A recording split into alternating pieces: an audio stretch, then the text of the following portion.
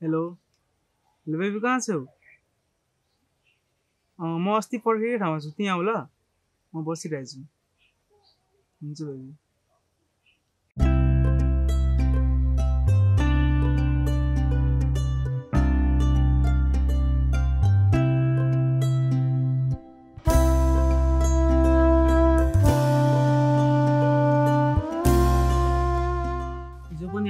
हिजो पनि आएन आज पनि अघिदेखि भेट भएर कस्तो नआएको के? तिमीलाई मैले भनेको थिएँ त घरमा मम बिरामीहरू सुन्छ त्यही पनि ममलाई सन्चो भयो भने आउँछु आउँछु भनेर कुदा कुदै ममलाई सन्चै भएन अनि मैले के गर्नु भयो त?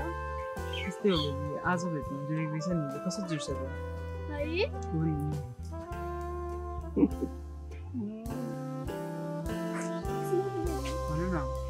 कति भयो क्या टिकटकमा बनाएको मम बिरामी बनाउनै पाएको छुइनँ एउटा पोस्ट गर्नु प्लिज बनाइदिनु न दामी दामी टिकटक त्यति गर्दिन म साँच्ची प्रमिस.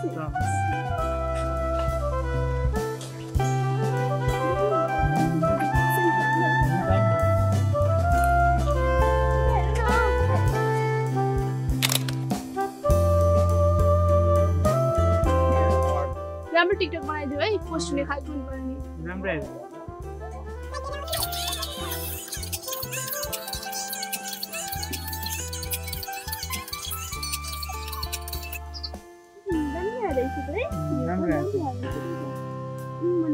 अझै बनाउने नि। कहाँ बनाउने? ओ त्यो फुलमा जाऊँ न हस् त्यहाँ बनाइदिउँ त्यहाँ बनाउँ न वाउ, हेर न कस्तो राम्रो देखिएको है। त्यहाँ कस्तो राम्रो छ है। एउटा बनाइदेऊ न प्लिज। बस।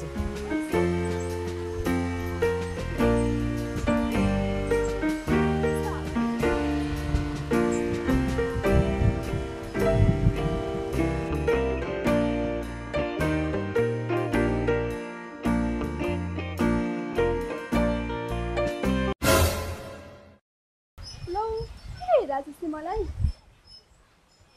बेबी यहाँ आऊ न के भयो? हेर त मान्छेमा हेरेको हेरै छ अघिदेखि हामी टिकटक बनाइरहेको छौँ नि। सबै हेरेर त्यहाँ बसेर हेरिरहेको छ। साले को रहेछ म यसको जान्छु आज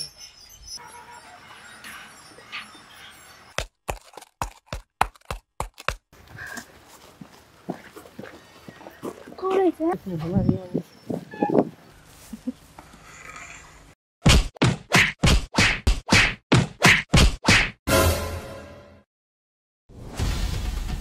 यसलाई मैले जानेछु को हो तपाईँहरू? अझै को हो भन्छस्? माथि छोरी माथि टिकटक बनाइरहेको छ लुकी लुकी हेर्ने। अनि अझै चाहिँ को हो रे? त्यो घरमा दिदी बहिनी छैन? कहीँ नभएको नखचारो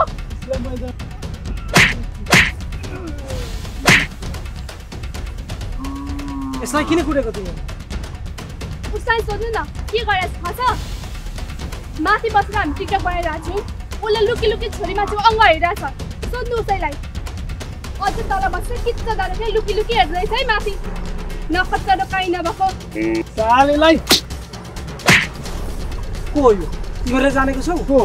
यसलाई मैले यहाँ ल्याएर राखेको। हिजो त ठिकै थियो यार आज त लास्टै आँखा दुखिरहेको छ यार। चिन्ता नल्याऊ। अब हस्पिटल जाने चेक गराएर दबाई खाएपछि सब ठिक हुन्छ। जाउँ। ए एकछिन ल।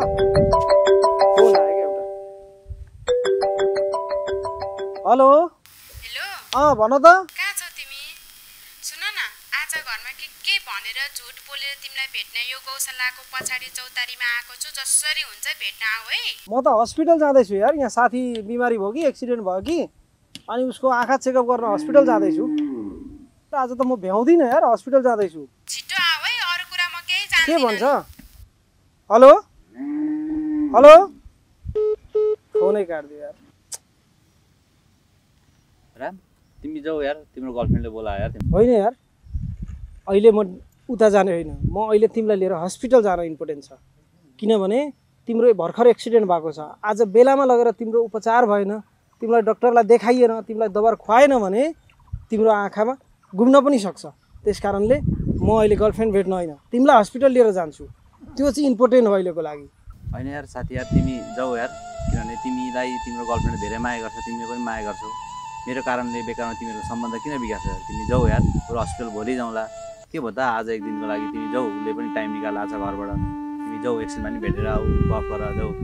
होइन। बुझ्ने गर्लफ्रेन्ड रहेछ भने त भोलि पनि त डेटिङ जान सकिन्छ। आज तिम्रो समयमा उपचार भएन भने आँखा घुम्न सक्छ। त्यस कारणले हस्पिटलै जानुपर्छ। हिँड हस्पिटलै जाउँ। तिमी एकछिनमा नि जाऊ यार गएर भेट उसलाई उसलाई मेरो कारणले तिमीहरूको मन नदुखोस्। होइन उसले पनि तिमीलाई मनपर्छ। आफ्नो घरमा टाइम निकालेर कति के कस्तो मि- मिलाएर ऊ आएको होला तिमीलाई भेट्न भनेर। जाऊ यार तिमी एकछिनमा नि भेटेर उसलाई एकछिन है। के गरौँ भने नि? उसले पनि यो चौतारीमा भेट्न आउँछु भनेको थियो। यही नजिकै हो होइन? म पाँच मिनट उसलाई भेटेर आउँछु। सबै कुरा भन्छु बुझाउँछु अनि तिमी यहाँ बस्दै गर अनि हामी हस्पिटल जानुपर्छ। त्यसो गरौँ है त। त्यो गर यार। एकछिनमा नि भेट उसको पनि मन रहन्छ। ल। तिमी एकछिन यहाँ बस्दै गर। म उसलाई पाँच मिनटमा उसको कुरो बुझाएर आउँछु।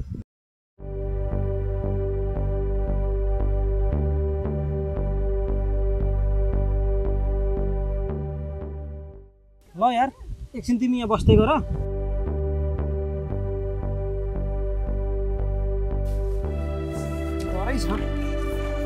ल यो लट्ठी समाइराख यहाँ बस्दै गर्नु म भेटेर आउँछु।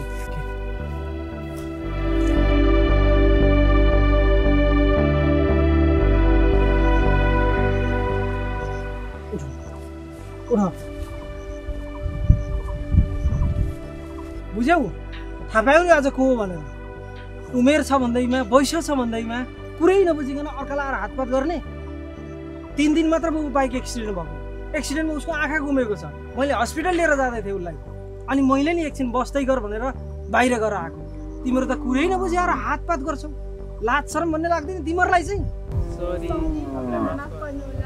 हामीबाट ठुलो गल्ती भयो। हामीले अन्जानमा थियौँ होइन हामीलाई थाहा थिएन उहाँ दृष्टिबिन हुनुहुन्छ भनेर उहाँको भर्खर एक्सिडेन्ट भएको छ भनेर। अबबाट हामी गल्ती कहिले दोहोऱ्याउने छैनौँ। माफ गरिदिनुहोस् सरी र माफी मलाई होइन तिमीहरूले उसलाई माग्नुपर्छ।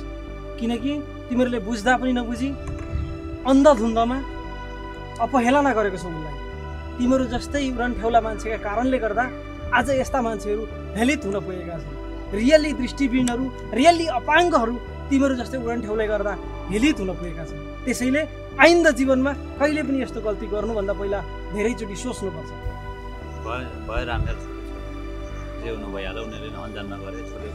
ठिक छ ठिक छ। तर यस्तो हेलना यदि म आइन पुगेको भए तिमीलाई यिनीहरूले अझै हातपात गर्थे। अझै दुर्घटना पनि हुन सक्थ्यो। त्यस कारणले आइन्दा जिन्दगीमा कुनै पनि काम गर्नुभन्दा कसैलाई हेलना गर्नुभन्दा आफू को हुँ कहाँ छु र कस्तो छु के गर्दैछु भन्ने कुरा चाहिँ दसचोटि सोध्नु होला। माफ गरिदिनु होला। हामी आइन्दादेखि कहिले पनि यो गल्ती दोहोऱ्याउने छैनौँ। क्षमा गरिदिनुहोस्। हामीबाट ठुलो गल्ती भयो। वी आर सरी जाउँ। अब हस्पिटल जानु परेन।